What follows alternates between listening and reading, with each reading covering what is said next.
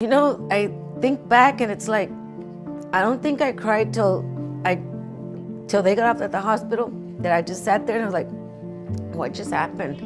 You know, because I could hear them crying and, and yelling and, you know, they wanted their mom.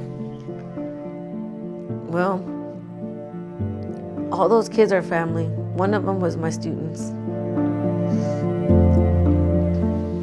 On my route, I went to her funeral.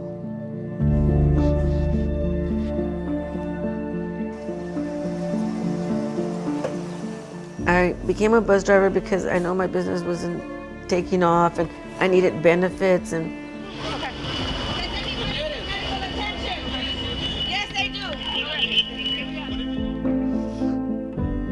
but God put me there.